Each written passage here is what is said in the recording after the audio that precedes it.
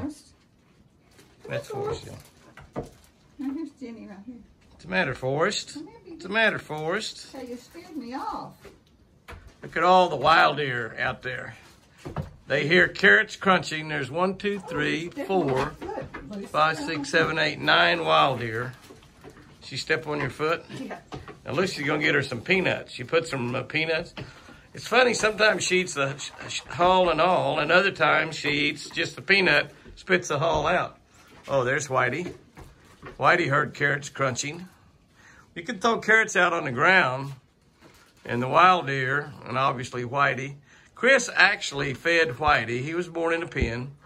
Fed Whitey carrots when he was a little baby. When he was just a little fawn, him and his brother. His brother is uh, still in the pen with a bunch of does. Whitey gets to chase his does on the outside. Hey, sweetie. You need a head scratch. Mm, you need a head scratch. We're almost out. Yeah, we're almost out. I think they love you, babe. But they ought to. That's why I love you. You feed me three times a day, too. Well, mostly twice here lately. But I've lost a lot of weight. Yeah, I'm not ready to go back to normal diet. We can't do that yet. I need to lose 10 more pounds. No, not ten more. I do. I need to lose 10 more. It's been a slow process. South Fresh deer food, they eat a lot of it. One of them put their muddy feet up on the chair, didn't it? It didn't look like it. It looked like or something. I bet it was Lucy.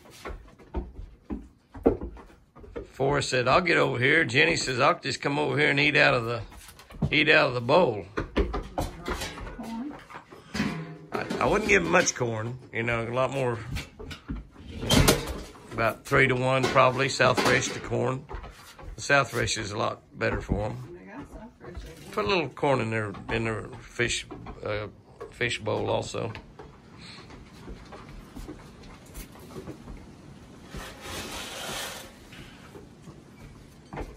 Got a little corn in there too. That's plenty. Throw the rest of it out there to the wild deer. Throw them a scoop of corn.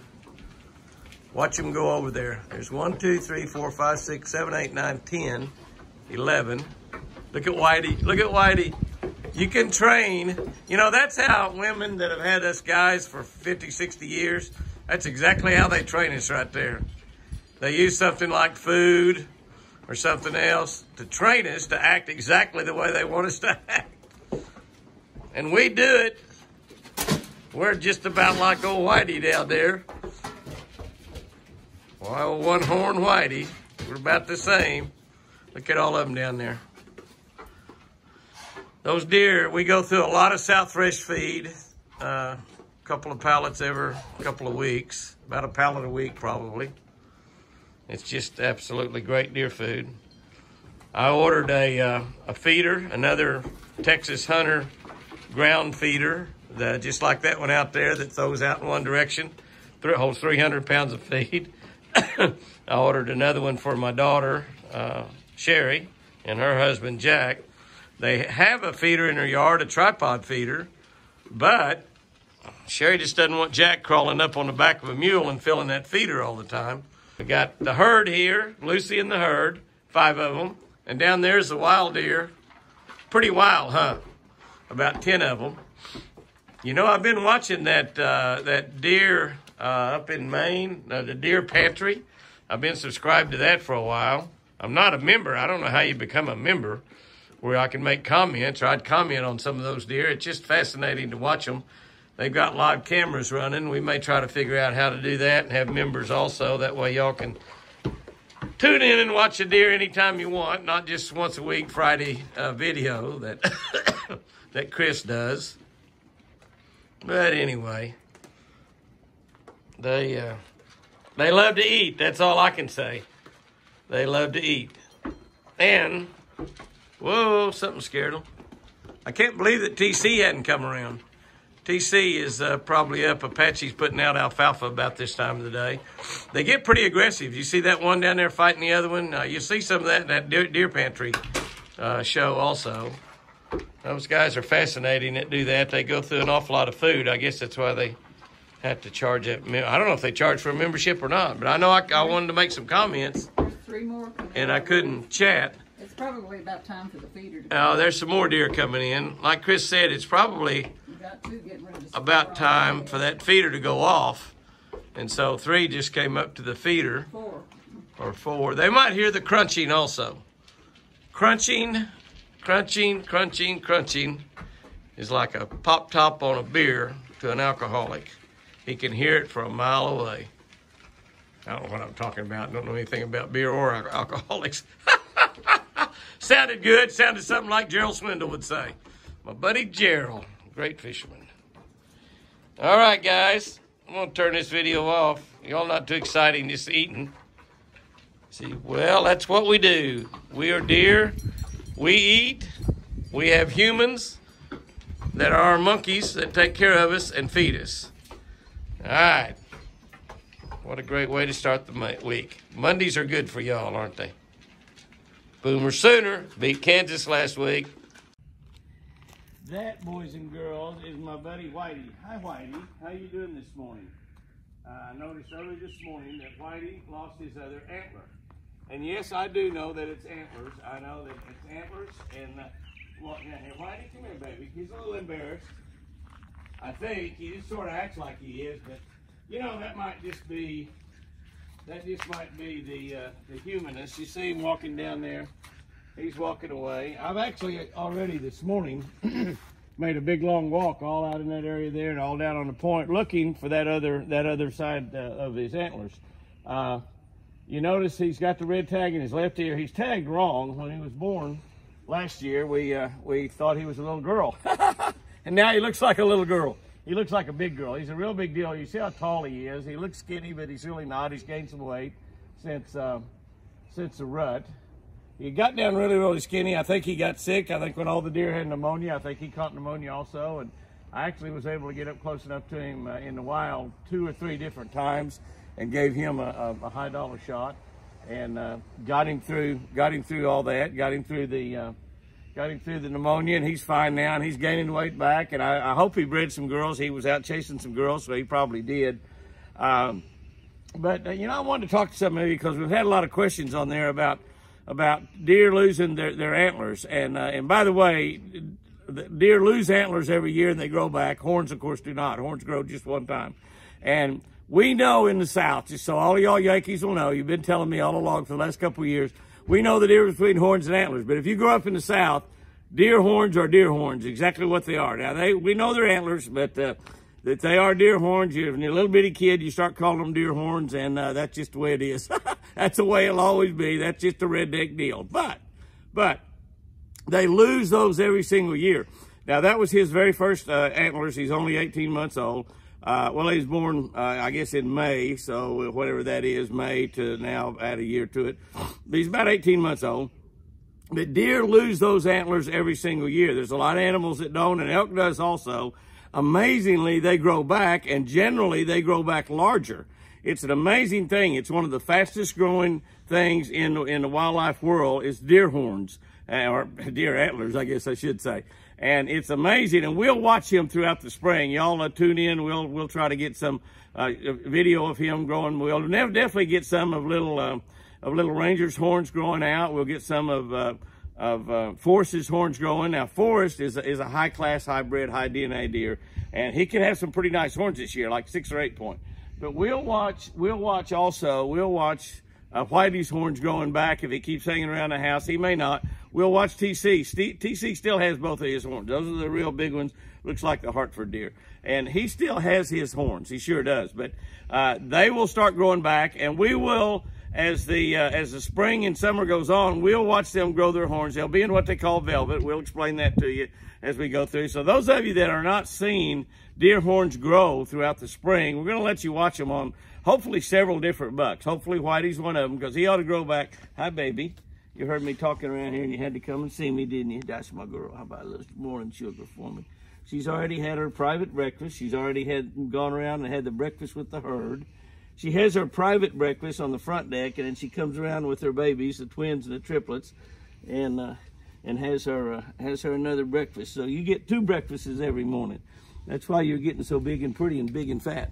And uh, hopefully, of course, we'll have some more babies born in the woods. And we have really cleaned the place up this year, but a lot of this will grow back a lot by May and June. We burned everything, and the grass will be a little bit higher out there. We won't mow any of that. So by May and June, hopefully, she'll have her babies around relatively close where we can find them again. May not, may not. Jenny also may have a baby this year. If she does, we may take that baby away from her since she's uh, uh, just uh, be her first babies, and she's not really old enough to have babies. She's not even a, a year old. She'll just be a year old come, uh, I guess, May. Come May, she'll be a year old. And uh, so she will probably have to take a baby away from her and raise it by uh, on a bottle uh, in order to get that baby to survive. If they have them when they're less than a year old or a year old, uh, normally those babies, only about 20% of them survive. They're just not yet ready to be a mama, even though they are. And so, but anyway, that's the story of, uh, that's the story of what happens when the, the deer lose their antlers. Whitey has lost both of his. We'll watch TC. I went out and took a walk around this morning. I believe I, I can't believe I got two white antlers out there now, and I can't find either one of them. Why don't you become a shed lab, labradeer? You need to be a shed labradeer. That's right. That's what you need to be, and that way you could come and you could come and go find those sheds and pick them up and bring them back to me. She says, I'm not interested in of that stuff. All I want to do is eat and love on you. That's all I want to do, eat and love on you. That's all I want to do. All right, guys and girls, that's the story about deer shedding their antlers. Elk do too. As big as the elk horns are, antlers are, they grow back, and they normally grow back bigger. It's going to be interesting to watch Whiteys grow. Going to be interesting to watch TCs. Little Ranger, and Forrest. We'll watch them all over the next few months. Guys and girls, have you a great one out there today. I love Lucy. I don't really know what's going on, but there's a lot of running going on. First, I saw Lucy take off. She was running like crazy the other direction. And then everybody else ran. I think they're just running just to be running, maybe. Maybe trying to warm themselves up. I don't know. Of course, every time you come out with a camera when they're running, they quit and stop and look at you. Here comes somebody. That's the two babies.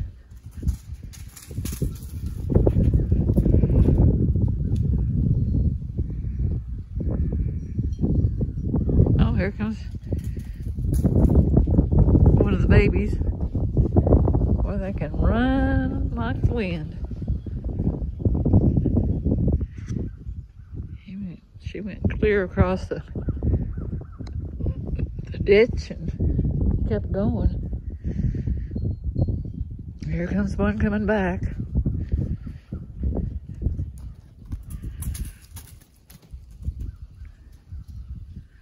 Here comes one of the babies again.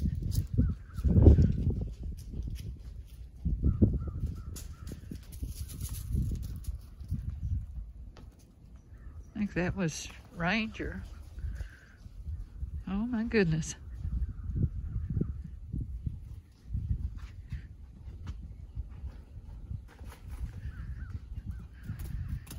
Jenny.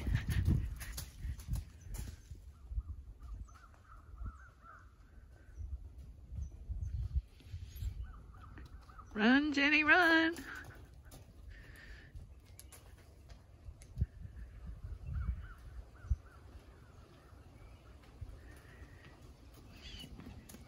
She's feeling her oats. What are you doing, Jenny? Huh? What are you doing? You getting warmed up? Here's Nina standing here wondering what in the heck's going on. There's Ranger out there.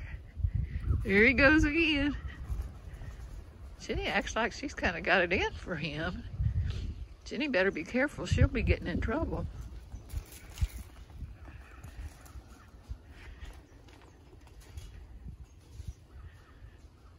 That's my baby.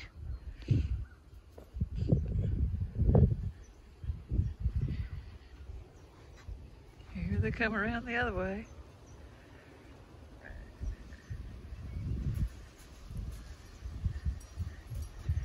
What are you doing? What are you doing?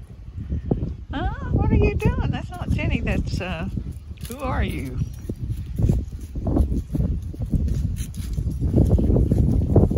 That's uh, Forrest. There's Lucy. She's just not getting back.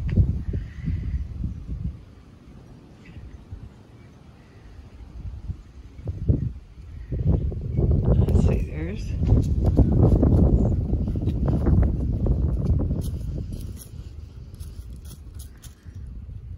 I can't even tell who everybody is. They all changing in size, so. Hey, quit that. That's Forrest.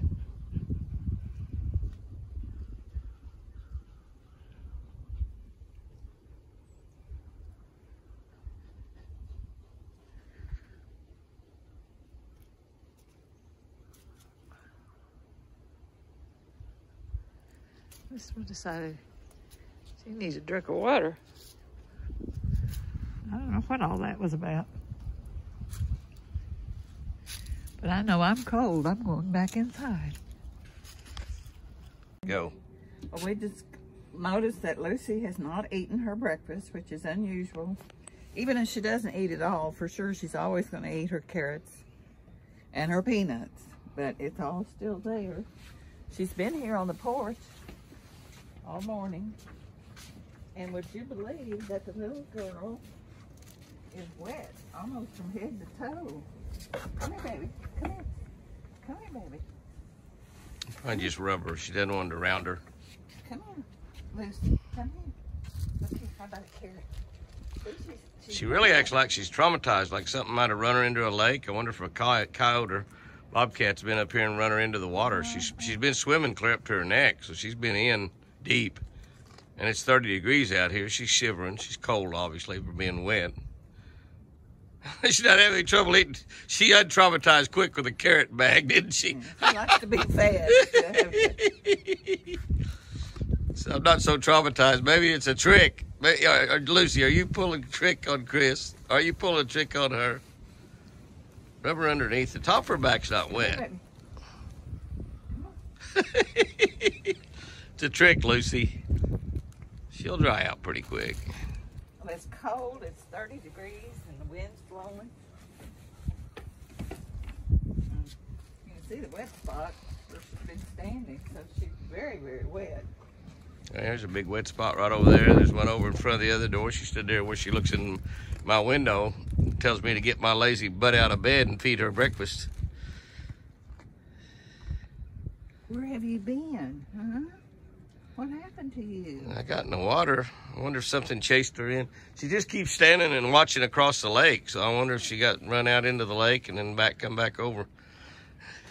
That's what we worry about a little bit about her uh, or any of them swimming to the other side of the lake and being lost and not being able to find their way home. They're just like we are. If we get in a strange city or a strange area and get turned around, we don't know any landmarks or any place where. Look at our door where Beamer scratched that door over the years. We could paint it, but it'd be just like that again in a month.